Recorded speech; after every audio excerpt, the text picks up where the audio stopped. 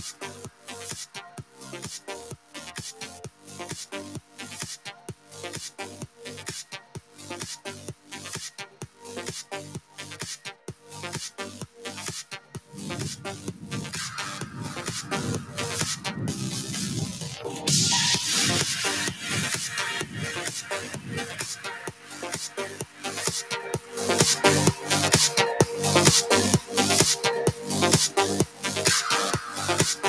afternoon again. Good afternoon, everyone. I'm Peggy Damon, your ESP past national president. Welcome to those of us, to those of you who have joined us via live stream, and welcome again to everyone here in the room in Branson. What does baseball, rock and roll, and Epsilon Sigma Phi all have in common? We each have a Hall of Fame in Cooperstown, New York, they honor those who have reached the highest mark of achievement in the game of baseball. In Cleveland, Ohio, they honor those who have shaped the history of those in rock and roll. And in ESP, we recognize those who have displayed outstanding thinking, performance, and leadership in their careers in extension, nationally and sometimes internationally. Receiving the Distinguished Service Ruby Award is our Hall of Fame. Each year, deserving colleagues are nominated for this most prestigious award within our association, but only one is selected and inducted into our Hall of Fame and honored with the Ruby Award. This year's award recipient joins the company of greats who have shaped our association and our extension profession. It is my pleasure to introduce and recognize past recipients of the Distinguished Service Ruby Award who are with us here this afternoon. If you would please stand and be recognized. Dr. Patricia J. Buchanan, 1993 Ruby Award recipient while in the Illinois Alpha Nu chapter. Pat? Now proudly calling Missouri home. And also with us, Dr. James Lindquist, 2001 Ruby Award recipient, Kansas Alpha Rho chapter. Jim, and here with his wife, Sally. We are so grateful for all you have given to our organization, and we thank you for your continued support of Epsilon Sigma Phi. It is now my pleasure to invite to the podium Jane Galt, a member of the Tennessee Omega chapter who has known this year's Ruby Award recipient for nearly 17 years. They served together on the ESP National Board and worked together in Tennessee Extension. Jane is a colleague and friend who can speak well to the many accomplishments of this year's honoree. Jane?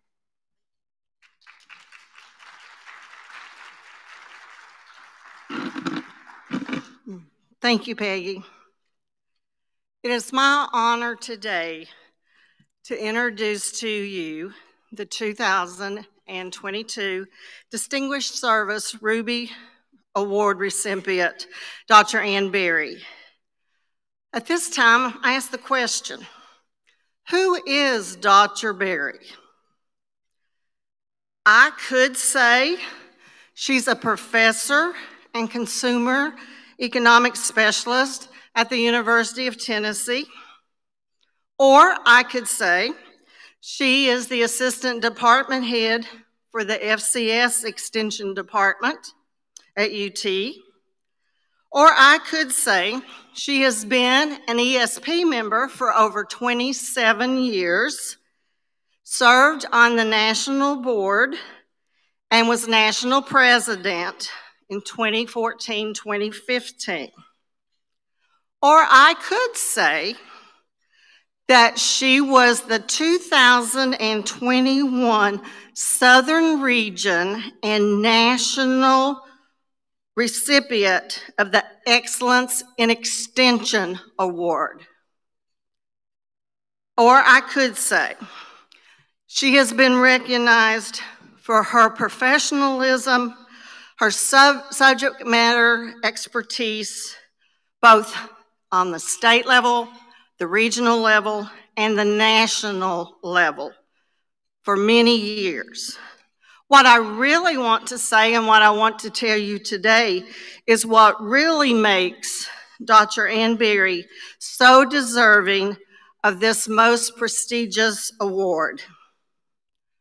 The Distinguished Service Ruby Award is for showing excellence in thinking, performance, and leadership across a lifetime in extension. What exactly constitutes a lifetime in extension? For Dr. Berry to this point, it's 35 years. For some perspective, did you know that 35 years is 18.4 million minutes? And we know in extension, minutes are important. Because we say, I'll get to you in a minute, or I'll be back in a minute, or you know, we'll be through in a minute. But in Dr. Berry's 18.4 million minutes, she has been very, very busy. She started her extension lifetime as Ann Allgood in Louisiana, where she served in many positions in the extension during her 17 year career there. She was a youth agent, as many of us in extension started as. She was an area energy agent. She was the EEO ADA coordinator for the Ag Center. Those are just a few of the positions she had in Louisiana. After getting a good start in Louisiana, Dr. Berry, as we like to say in Tennessee, saw the light and came north a little bit. She came to the University of Tennessee Extension to be a, a consumer economics specialist and eventually rose through the ranks and is full professor. Her excellence started in Louisiana, has grown in Tennessee. Yeah, she got a great start, and we thank her Louisiana colleagues for that. But our 18.4 million minutes has included working with colleagues, county agents, county staff, outside programs, partners, too numerous to say in her introduction. She has had excellence in programming in just a few of the programs that she does excellent leadership for. Uh, us in Tennessee is the home buyer education, one of the first in the nation to do personal finance education training for high school teachers, and that's these still are continuing today. Throughout her extension lifetime, she has made an impact in all that she has done. And one of the special things that she has that I think is the real, real reason that she is so deserving of this Ruby Award, I call it the AAB touch. That's Ann Allgood Berry.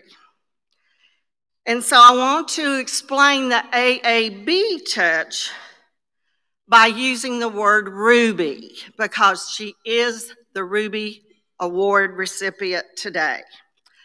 The first letter in Ruby is R.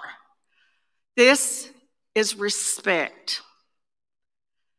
If you know Ann, she respects her colleagues, her co-workers, her partners, her clients, people she meets on the street, people she sees in the grocery store. She shows respect to all. Also, R is for reliable. If Ann commits to something or tells you she will do something, she will get it done.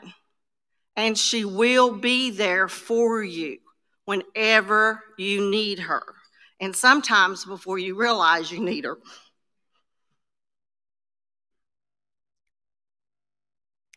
Second letter in Ruby is U. Unselfish. Ann shares. She is a team player. She shares her accomplishments her, and her achievements with all who helped her achieve those.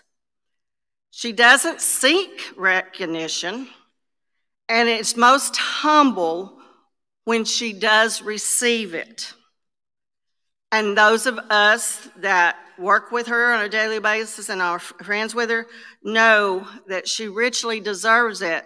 But Ann does what she does from her heart. The third letter in Ruby is B. That's for brave. And you may think that's a strange one, but I'll explain. A strong leader has to be brave, especially in extension when you have been an extension a lifetime. I'll give you an example. You have to be brave to start new programming and ignore the we don't do it that way or it hasn't been done before way. You have to be brave to start a new position to move from home where your roots are really deep and her blood runs purple and gold. But she was brave to come to big orange country. And through her years at UT, there's a lot of orange mixed in with that purple and gold now. You have to be brave to right wrongs when they are brought to your attention. That's the AAB touch. She will and she does have your back. The last letter is Y, and that's for you. Because if you know, and if you've had the pleasure of working or meeting Dr. Berry, even on a daily basis, a one time meeting, or anything, you are a very, very lucky person because she sincerely cares and supports others. She is a people person for her, and she backs her colleagues and friends and helps whenever. She knows how to do this, and she's really good in helping people in a bad or tight situation to find solutions that help everyone. That's a very special talent. That's the AAB touch. Through her extension career, Dr. Ann Berry has achieved excellence in thinking, performance, and leadership. On behalf of the Tennessee Omega chapter, it is my honor to present Dr. Ann Berry, the 2022 Distinguished Service Ruby Award recipient.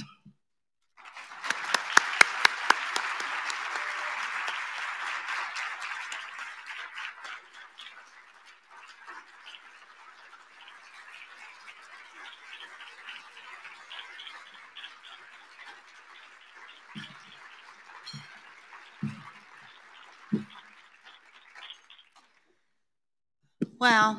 I don't need to talk now, do I? I mean, thank you, Jane. I was about to cry, and um, hopefully I won't do that. But good afternoon, everyone, and it is such an honor to be standing in front of you today. Among those distinguished people who came before me who received this award, Jim and um, Pat, but um, anyway, I'm just humbled, and I can't believe that I am in front of you today. But I got a call back in July from Jeff Myers, a dear friend. He's um, well, he actually texted me and he said, "Congratulations," and I called him back and I said, "For what?" He said, "Well, we're receiving the Ruby Award." Well, I didn't even know I had been nominated. I mean, it was like, what? And so anyway, I owe that nomination uh, to Shelly Barnes. Hey, Shelly, you're joining me by virtual um, today, but um, thank you for that. And um, she gave me some instructions, okay? She said, Your speech better not be boring. And you better speak up, because I. well, I hope I can follow her instructions. I'll do the best that I can. anyway, um, I do thank her and just want to acknowledge her support and belief in me. But I do have a good sized delegation from Tennessee joining me today, and I'm so thankful that they're here to um, receive this with me. And if they could all stand right now for some recognition.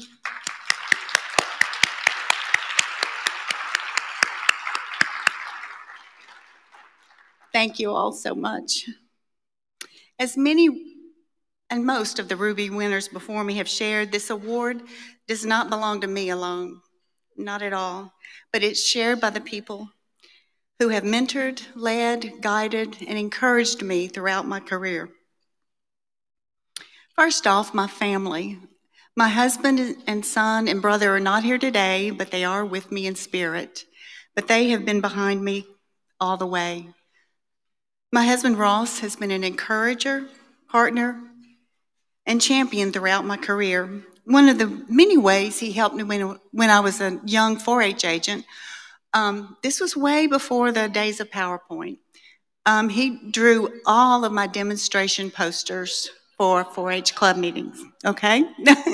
he was artistic and he had great penmanship, so I really um, I tapped into that talent. It helped me a lot. now, Sean is the joy of my life. He's my son. Um, having had a miscarriage and unsuccessful fertility treatments, we thought we would never have children. Ross said, "Well, if God wants to have us wants us to have a baby, we'll have a baby."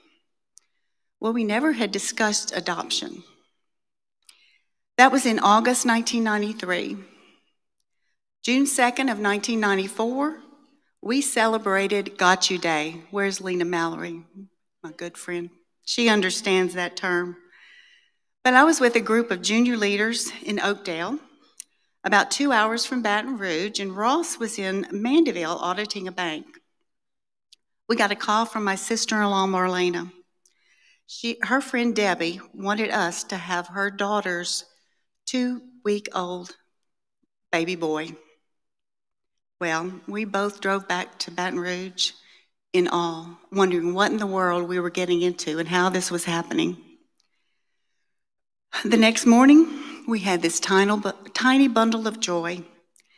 It took almost a year um, to make the adoption legal, but that was all in due um, and thanks to my brother Mar- uh, Pepper and Marlena because they were both they are both attorneys, and so um, they made that happen. Sean was ours, and he is our miracle.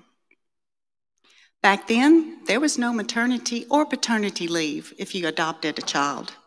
So Sean put on a few miles on that little body of his the first few months of his life. He traveled with me to conduct school energy audits, staying with my mom, my mother in law, or my aunt while I worked.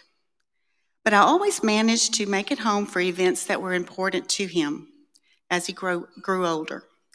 However, when he was just in preschool, I was a few minutes late getting back from being out of town for his gymnastics program.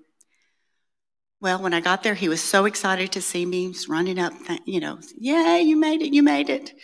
His teacher told me that he had been so anxious, very anxious, and he's still a little anxious today, but he was worried that I would not make it.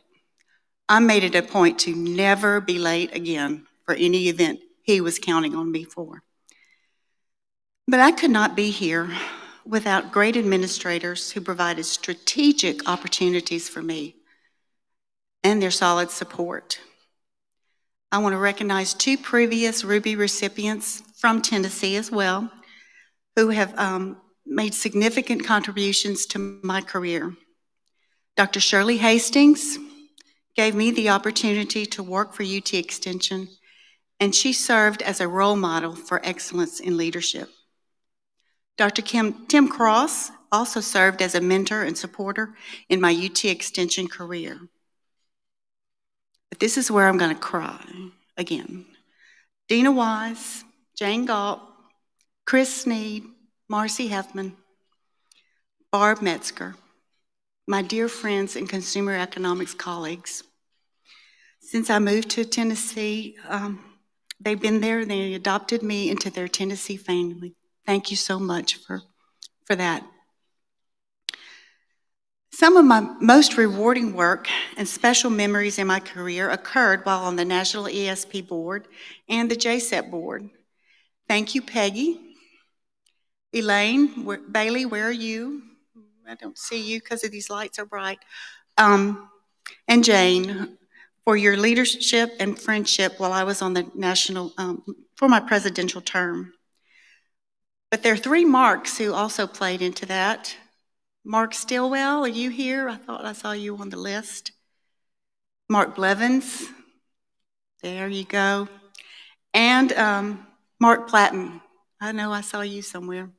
There you are. Thank you for your leadership and excellence while I was on the board and even now. There are too many, um, well, also, where's Mike Knutz? Is he here today? Not yet? Not yet, okay. And Karen Redderson. There's just too many people to mention that have um, worked with me and I've become really great friends with, and but I admire your leadership for this association. Um, two people not here today, and I really want to recognize them. Jeff Myers and Bob Ohlensehlen, two men who coached and mentored me during my national ESP service. Since they're not here today to defend themselves, I think I'll refrain from telling any stories of our adventures. So, but I do thank them. I attended my first national ESP conference in Salt Lake City in 2000. Not only was I in awe of Extension, but also, well, Extension Association, but also this prestigious award. Dr. Leroy Luft was a Ruby Award winner that year. I never dreamed that I would one day be bestowed the same distinction. I was, it wasn't even in my brain, I mean, no, no thought. But um, I was sent to the conference at the last minute because our secretary of the Alpha, Alpha chapter in Louisiana got sick. Well, that began my ESP journey. I owe much to this association for my leadership development, collaborations and friendships that I have made with professionals across the country, and for my success in extension. They're not here today, but sincere thanks to the encouragement of Deborah Thomason and Sandy Corridon for me to run for national office. What an honor to be recruited by those two wonderful women. My love for family and consumer sciences started at a young age. My interest in clothing design started in the first grade. I designed and made clothes for my dolls. Okay. I was at home sick one day. Um, it was around Halloween, and my mom um, knew I needed something to do, but I didn't feel like doing much. But she gave me a scrap of an old bedspread and said, Why don't you make a costume for your doll? So the bedspread was a muted orange and white damask. I added an applique of a witch's hat from black fabric, and that was my first creation. Original design. My mom saved that forever, but she also kept everything that we ever did, too. So many of you may have parents like that. Um, well, I ended up making all of my clothes in high school, even my jeans. My first efforts at cooking did not go so well, though. My brother and I made cookies for our parents when we were about five and seven years old. They were hard as rocks. But my mama said they were delicious, you know, always encouraging. My daddy, on the other hand, didn't say a word. You know, he was, he was not going to contribute to that. But I also didn't do very well at my first cooking competition. I entered the rice cookery contest in Jeff, Jeff Davis Parish. I made porcupines with ground beef and rice. And I got the recipe from the extension office. Well, the finished product, it looked like a porcupine but I didn't place. I didn't know I was supposed to cook the rice first.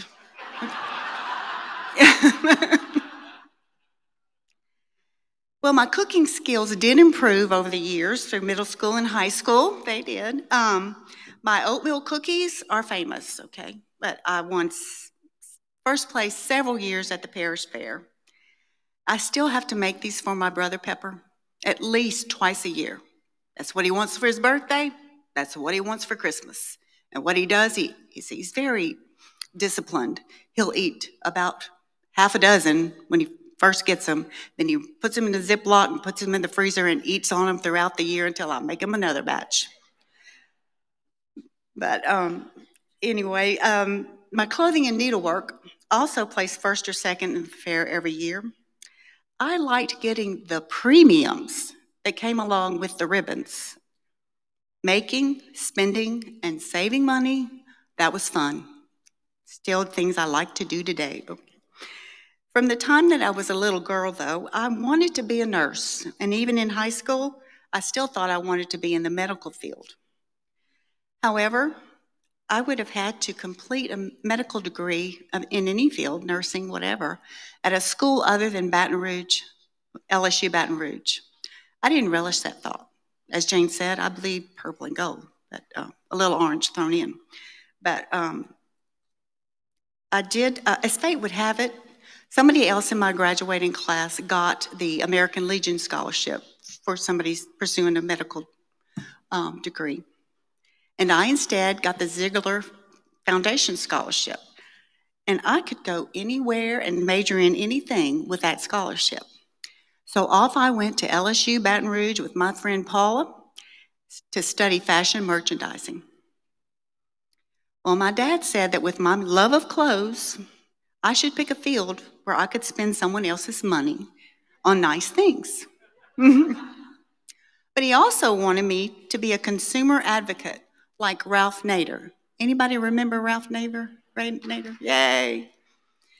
Well, uh, I did not want to, and, and he wanted me to go to law school and study consumer law.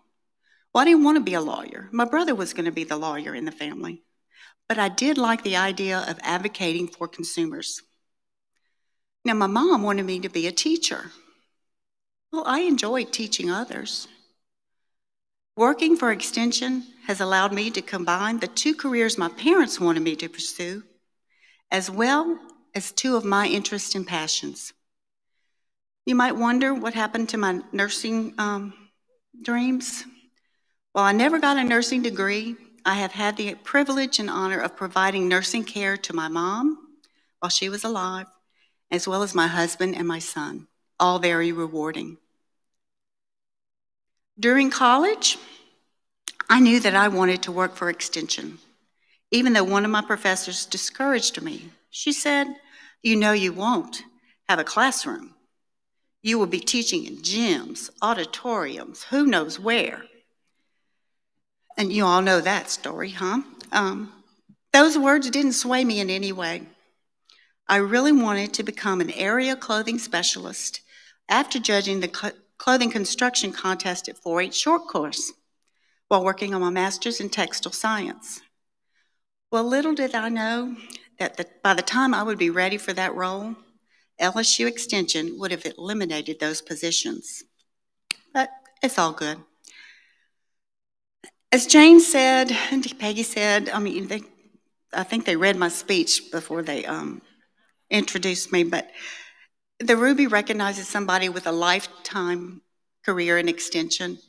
And um, my lifetime career is almost, would almost be 40 years, but I took a few years off to do um, a little retail, small business counseling and development, as well as economic development. Uh, but as Jane said, my first job was in Extension in 1984. Uh, 83, sorry. I don't even, I'm cutting it short, huh? But I was a 4 H agent in Acadia Parish in Louisiana. Acadia Parish was a remarkable place to work, especially for my first real job.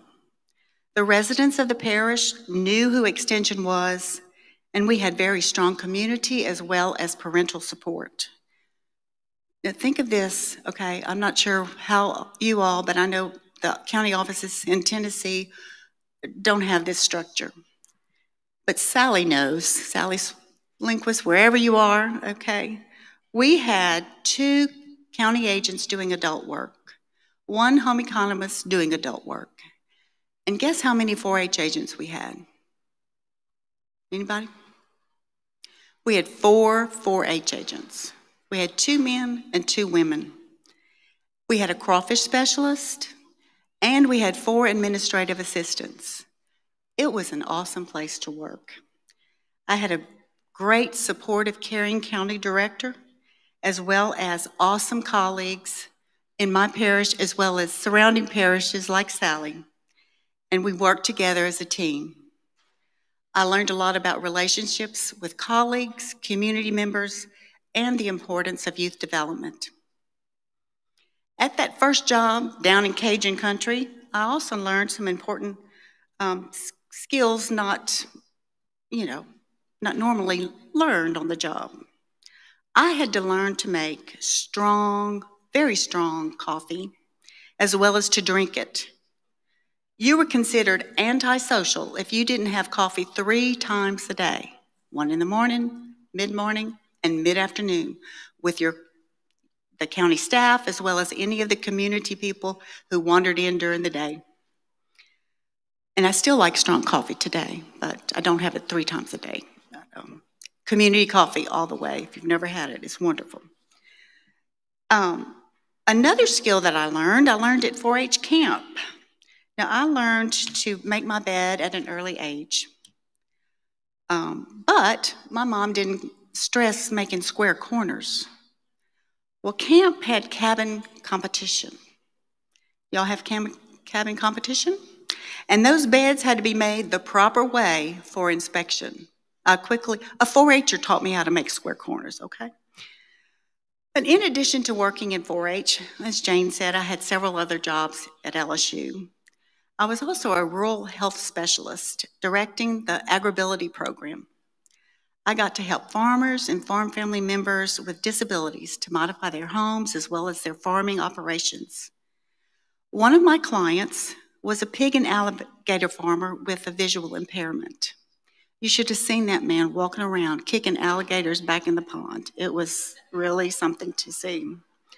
And the little pigs, they're, they're, it was pristine conditions. It was a great operation. But he had a visual impairment, and um, so I was there to help him make some changes. But you know, with that kind of job, I always kept my rubber boots in the car because I never knew if I was going to go to see a farmer or go to um, an advisory council meeting with um, people where I needed to be dressed up a little better than with my boots and uh, jeans. I continued to work with Extension full time whilst pursuing my doctorate degree. And I know some of you in this room have done the same and are, or maybe doing it now. Egla, anyway. Um, I um, completed my PhD program, and then I became an assistant professor in family resource management, while I also served, as Jane said, the EEO, civil rights, and ADA um, coordinator for the entire LSU Ag Center. I gained valuable experience at LSU, and I thank all of my LSU colleagues and administrators for the opportunities and support I received. And I think my only LSU person is Sally, so thank you, Sally. Well, the stories I could tell of the wonderful experiences um, with UT Extension. Dr. Shirley Hastings offered me my dream job. I've served as an assistant, associate, full professor, as Jane said, in consumer economics. As of April of this year, my responsibilities expanded to be the assistant department head. But a huge shout out to Dr. Dena Wise, my dear friend and mentor, and the, as well as my friends and colleagues in consumer economics, Jane, Dr. Chris Sneed, Marcy Huffman, and Barb Metzger. Dean and Jane and I always drove to conferences, taking time to enjoy the scenery and the trip. And Dean and I usually traveled the back roads. I think we traveled the back roads today. I mean, you know, just the other day. Um, but the the people in the car didn't always want to go those back roads. But anyway, it, it's all fun. But um, one trip to Denver that Dena and I took together took us three entire days because we found things off road and really, you know, made the most of it. But while we were traveling in the car and we were working, um, we still got to have work done. You know, in addition to enjoying the scenery, we took that time to plan for programs, write grants, whatever, taking times to drive. Or, I mean, I would drive, Dena would type on her computer, and um, I would share in whatever we were working on. So I do want to recognize that special group of people. If you could stand, Dena, Jane, Chris, Barb, and Marcy.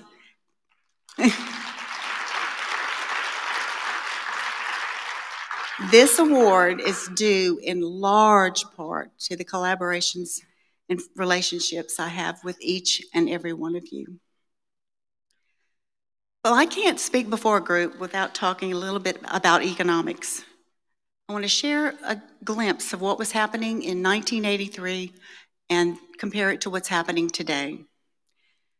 The US dollar lost 60 66% of its value since 1983. The dollar today only buys 34% of what it could back then. The inflation rate in 1983 was only 3.21%. And the current inflation rate today compared to last year is now 8.52%. Back in 83, you could buy a gallon of gas for $1.22. This morning I checked, the national average is $3.72. Thankfully, it's not that $5 it had been, but it's still quite a bit different from 1983. In 83, the median price of a home was $75,000. And I'm sure you're all aware that that has increased this year. The median price of a home now is $350,000. There was a farm crisis back in early 1980s in the Midwest. Today, we have severe drought, high inflation, supply chain shortages, as well as climbing interest rates, impacting the ag industry as well as consumers. FYI, the interest rate for a 30 year fixed mortgage is now up to 6.2%. And the Fed will probably raise interest rates two more times before the end, end of this year. Okay, that's my reflection and com comparison. Now it's your turn. Think about to the day you began your extension career. That could have been 40 years ago, like me, or maybe last year. What was happening in extension at that time? What was happening in our country? What was the economy like? Now think about your role with Extension. Did you consider that you had a leadership role? Did you feel adequately prepared? Now think about today. What is your current position? You may be retired. Do you have a leadership role in an association or for organization in your community? You were chosen for that very first position. And you've been chosen for your current role. I hope this lecture, I hate saying lecture, whatever, uh, will give you some takeaways on leadership and how you can make a difference and positive impact wherever you are. Did you know that there are over 75,000 books for sale on Amazon with leadership in the title. Thousands of blogs and articles are written and published each year. In the Journal of Extension alone, there are over uh, 1,000 articles published on leadership. And I'm sure many of you have attended leadership training or workshops and have read some of those books and articles on the topic. A considerable amount of wisdom regarding leadership can also be found in literature. Homer, Plato, Shakespeare, and Hemingway are examples. The Bible is a great resource on leadership as well and depicts many leadership styles. Moses, David, and Samson, all leaders, but possess, possessing different styles and qualities. Queen Esther was another great leader of the Jewish people, and I want to share her story with you. Insights about how leadership styles and different leadership styles can have huge effects can be found in this book. The book of Esther is a book in the Old Testament of the Holy Bible and is part of the Hebrew Bible, part of, one of the Ketuvim. One author compared the story of Queen Esther to the Clint Eastwood movie The Good, the Bad, and the Ugly, because there are examples of each of these types of leaders in this book. It really does read like a movie plot, and there have been movies made about the story. It can be viewed as a study of very, a variety of leadership styles and ends with what can be interpreted as a prescription on effective leadership. Some of you may have read the book, others may have seen the movies, but I do want to give a brief synopsis, and if you want more details, you can read the entire book at a later date. The book is a, one of romance, promise, um, intrigue, and courage. The four main characters are Ahasuerus, the king of Persia, Esther, a young, ordinary Jewish orphan, Mordecai, Esther's cousin, mentor, and guardian, and Haman, the prime minister of the kingdom. The drama involves three players exercising leadership, whether it was an authorized leadership role or taking the role of leadership on themselves. And there's a fourth player involved, caught in the middle and faced with a choice. What kind of leader am I going to be? Those leaders surrounding Esther or Mordecai, he's the good one. King Ahasuerus, the bad, and Haman, the ugly. Each one models a drastically different style. And the young girl turned queen is given an opportunity to embrace one of their approaches. The stakes are high, as her decision will impact the entire nation of Israel. The story takes place in Persia, approximately 2,500 years ago. The Persian Empire was vast. It extended from modern day Ethiopia across the Middle East on down to, to India. It was one of the largest kingdoms in history. The story unfolds with Ahasuerus, known as an arrogant pleasure seeker, hosting a lavish party for his court and dignitaries. In a drunken state, he orders Queen Vashti to parade her beauty in front of all the crowd. Well, she refuses and then is removed from being queen. So, Ahasuerus then holds a beauty contest to choose another queen. One of these girls that was paraded in front of him was Esther and the king fancies her and makes her his new queen. She doesn't tell anyone, though, that she is Jewish. Not long after she is made queen, Mordecai discovers a plot by members of the cabinet and the court to kill King Ahasuerus. The conspirators are caught and hanged, and Mordecai's service to the king is recorded in the books. However, Mordecai doesn't get any um, thanks or recognition, nor does he ask for any. Ahasuerus then appoints an evil man named Haman as the prime minister. Haman thrives on recognition and demands respect from everyone.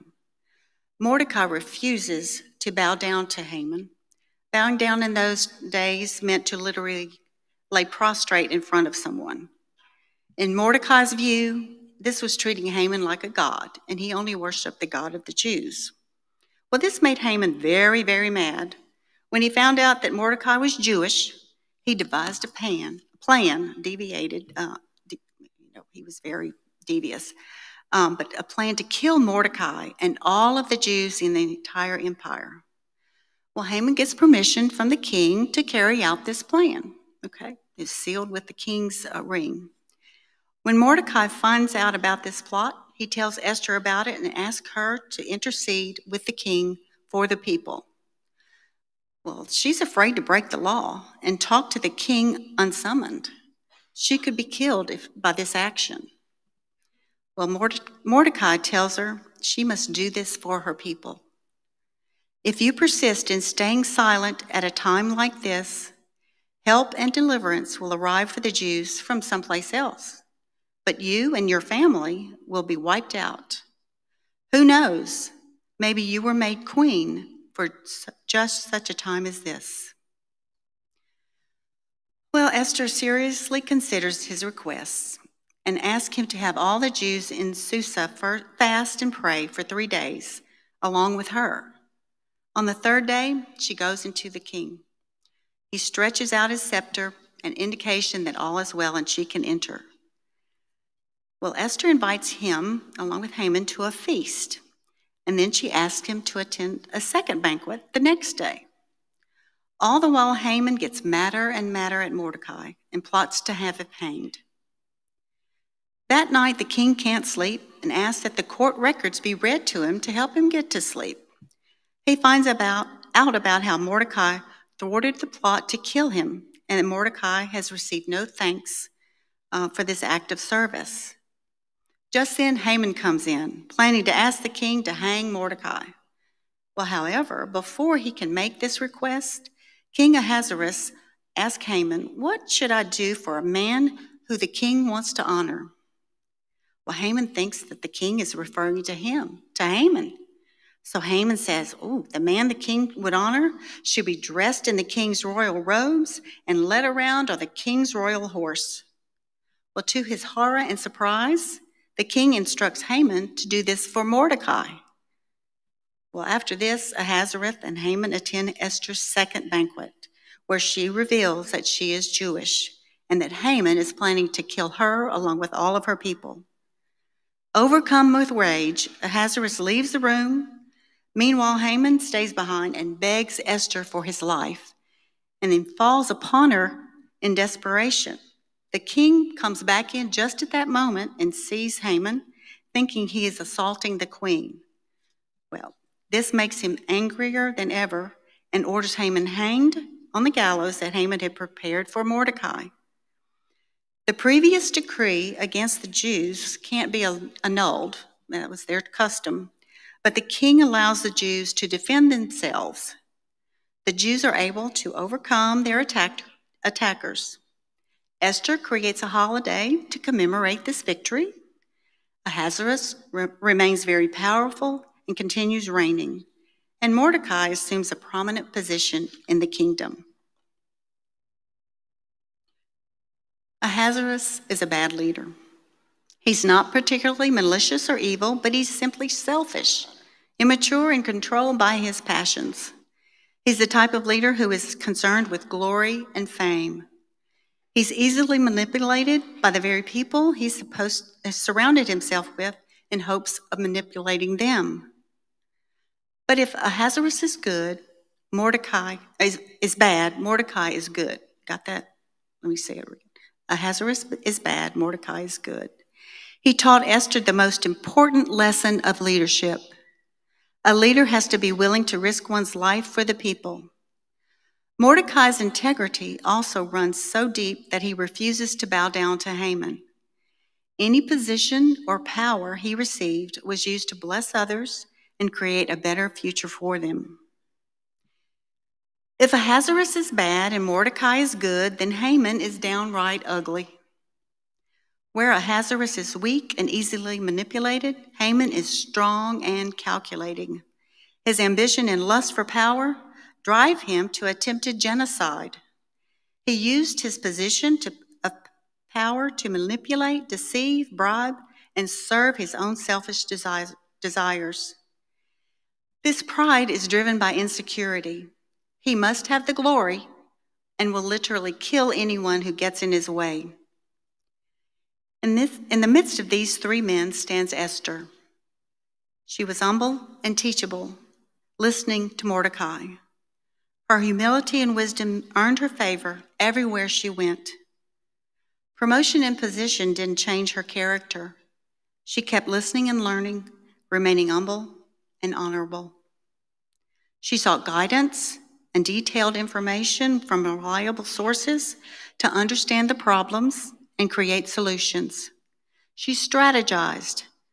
She devised a plan and took the initiative to carry it out. She was decisive. Once she realized that this was her responsibility, she rose to the occasion. The key moment in her leadership journey comes when she lists, issues a call to all the Jews to pray and fast in preparation for her big decision and biggest challenge. She honors authority and navigates politics shrewdly to persuade rather than to deceive. She uses her influence to promote and protect others and delegates duties to those more qualified than she. Esther works alongside other leaders. She rescues the Jewish people, having indeed come to the kingdom for such a time as this. The book of Esther shows us many leadership qualities that we can strive to achieve. She acted with bravery and courage. Good leaders are not afraid to do the hard things, while poor leaders avoid hard decisions. We need to lead with a clear vision and purpose. Sometimes that might require bravery and courage to follow through. Esther used her position for good. She did not use her position to tear down or manipulate. She used her position for the greater good, to protect her people. Good leaders serve others while poor leaders pursue the applause of others. Leaders need to have humility, focusing on the people they are leading and not themselves. Sometimes they need to be a voice for those they serve. Good leaders react patiently, while poor leaders are reactionary and compulsive. Leaders should be open to advice, and they should seek wise counsel. Like us, Esther was surrounded by competing approaches to leadership. This story shows us the importance of selecting leaders with integrity, honesty, and humility in government, in business, in professional associations, and in extension. In her blog, Queen Esther, Quiet Leader, Daniela Shear defines a leader as a person or people who can affect change she also comments that some people think that in order to be a leader, you have to be loud and outspoken. But volume has nothing to do with leadership. Esther wasn't outspoken at all, but she obviously led. While there are good leaders who are loud and outspoken, there is no one image of a leader. If a leader is someone who affects change, then many people have the ability to be leaders. Small changes are important too. Everyone can't be an administrator, a king, or a queen, and not everyone has the same amount of power. But what matters is what we do with what we have. Your voice does not always have to be loud to be heard. You can be quiet and still bring about positive change that is important and meaningful. Simon Sinek leadership expert and author on the of the classic Start With Why, states that leadership is not about being in charge. Leadership is about taking care of those in your charge. Queen Esther was chosen by her God for such a time as this to save the Jewish people. You have been chosen by your organization, department, or university to lead in whatever capacity you are serving. No matter your style of leadership, remember the lessons from Queen Esther, and that your leadership style and the quality of your leadership will have lasting impact, and you can make a difference where you have been placed. Esther stepped up to the challenge and took care of her people. Are you ready to do the same? for you all were chosen for such a time as this. Thank you.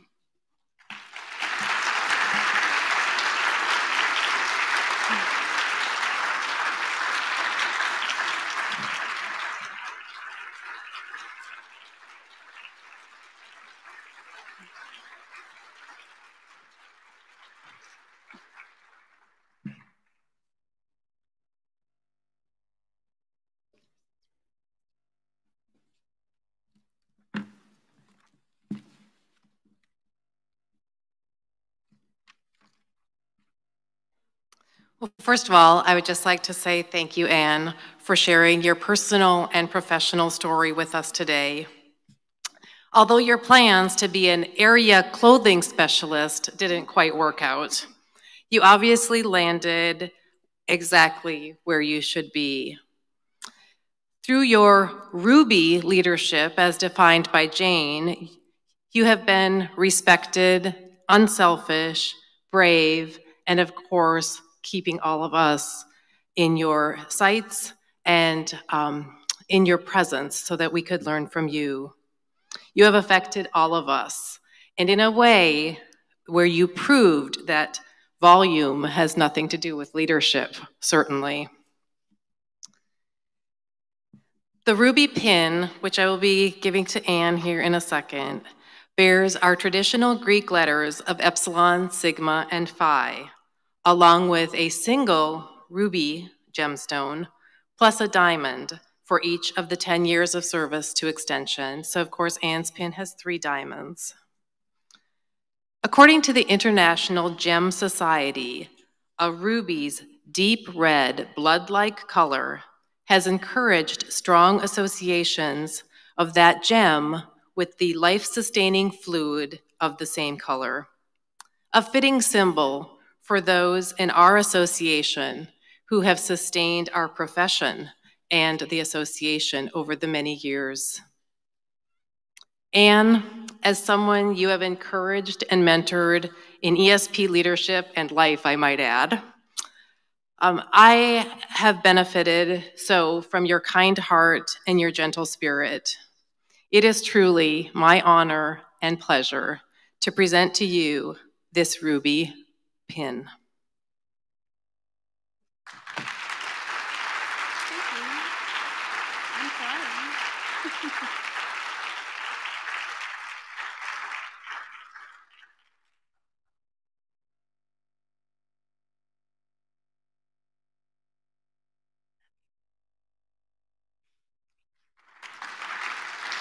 Please join me in congratulating Dr. Ann Berry, your 2022 Distinguished Service Ruby Award recipient.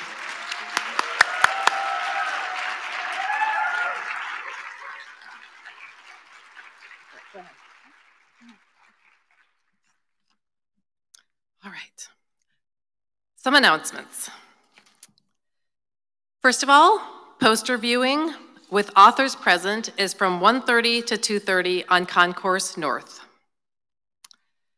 Another announcement, at 2.30 that session, the concurrent sessions, starting at 2.30, there is one canceled session. It would have been held in Short Creek 3, the session taking that first step to get involved in 4-H a canceled session, but there's plenty others that you will um, be able to choose from, so I'm sure you'll still find something great. Life members attending the Hard Work U College of the Ozarks tour. You will be boarding the bus in the convention center lobby just outside the ballroom immediately following our luncheon. Also, you can never get off the podium without putting this one out there. Remember, you can always donate to the development fund or the endowment fund, excuse me. So anytime during the conference, we are collecting um, those uh, donations to the endowment.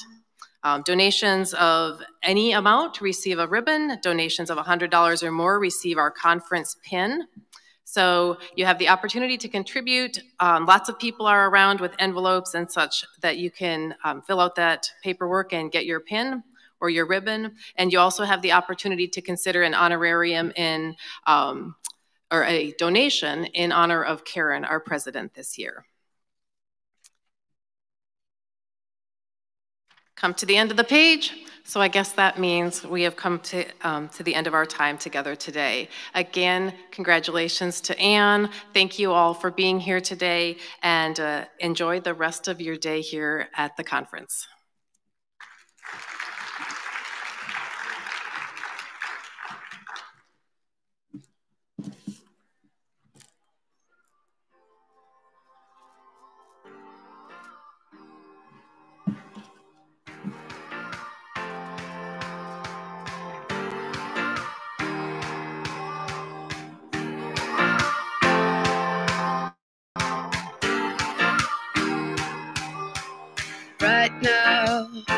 You got me feeling like I can't believe I let you go.